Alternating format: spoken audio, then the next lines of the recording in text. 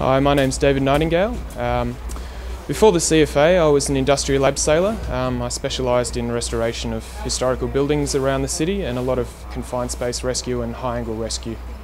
Uh, I run a lot, um, I ride a lot, I run a volunteer kids camp as well that takes up a fair bit of my time uh, getting all of that organised. So, yeah. Before I entered the CFA, I had uh, looked up a lot of information on the website and talked to other firefighters about the job itself and what it entailed. Um, I was lucky enough to have a few friends who were involved in the CFA prep already, um, so they were a wealth of knowledge. But um, I found a lot more information once I had started the recruit course. It, uh, it really escalated uh, in the amount that, that, that, they do and that they're involved in.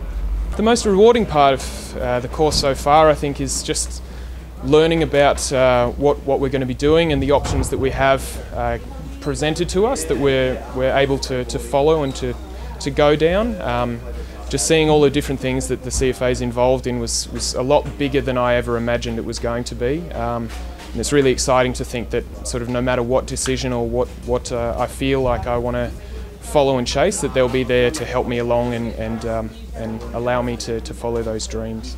I think the toughest part of being a firefighter will be uh, being involved in, in incidents and accidents where people are uh, hurt and injured and um, trying to be strong uh, to help them through those times. Um, I think you know it'll be difficult to, to, to, see those sorts of things and still be able to keep a cool level head and, and be able to perform your job uh, to help them uh, in their time of need.